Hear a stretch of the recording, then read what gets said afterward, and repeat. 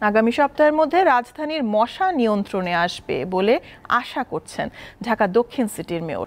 তবে উত্তরের মেয়র বলছেন, শিগগিরই মশার যাতনা থেকে মুক্তি মিলছে না নগরবাসীর।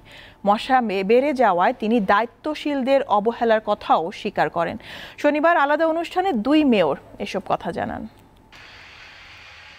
বর্ষা মৌসুমে জলাবদ্ধতা আর মশা বেড়ে যাওয়া রাজধানী ঢাকার অন্যতম সমস্যা। বর্তমানে কিউলেক্স মশার যন্ত্রণায় অতিষ্ঠ নগরবাসী। এ মশা আগামী এক সপ্তাহের মধ্যে নিয়ন্ত্রণে চলে আসবে বলে আশা প্রকাশ করেছেন ঢাকা দক্ষিণ সিটি কর্পোরেশনের মেয়র শেখ ফজলেনুর তাপস। শনিবার গোপালগঞ্জে বঙ্গবন্ধুর সমাধিতে শ্রদ্ধা নিবেদন শেষে তিনি এ আশা প্রকাশ করেন। জানান আগামী বর্ষায় ঢাকাকে জলাবদ্ধতা থেকে মুক্ত রাখার কাজও এগিয়ে চলছে। কিউলেক্স মশার ব্যাপারেও আমরা আমাদের কর্ম পরিকল্পনা ঢেলে সাজিয়েছি।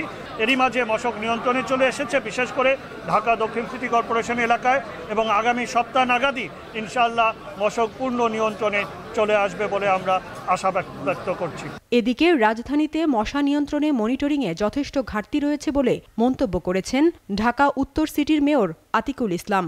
ভাটারা এলাকায় মশা নিধন কার্যক্রম পরিদর্শনে গিয়ে তিনি জানান সব ধরনের চেষ্টা চালানো হলেও অল্প সময়ের মধ্যে মশার উপদ্রব থেকে রেহাই পাচ্ছে না নগরবাসী।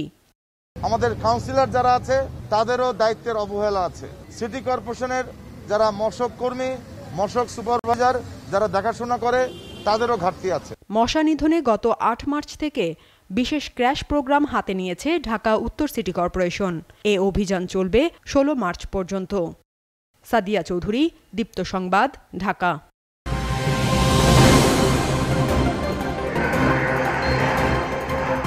আমরা যদি সকলে একযোগে কাজ করি আমরা দারিদ্রকে জয় করতে পারব।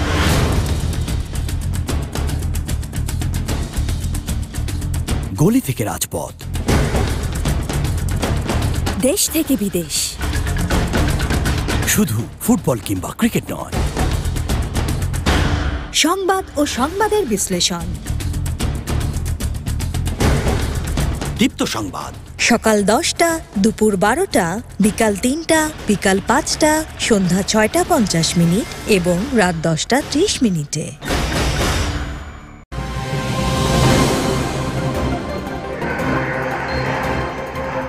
আমরা যদি সকলে একযোগে কাজ করি আমরা দারিদ্রকে জয় করতে পারব।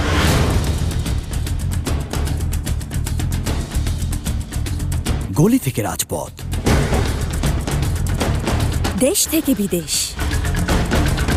শুধু ফুটবল কিংবা ক্রিকেট নয়।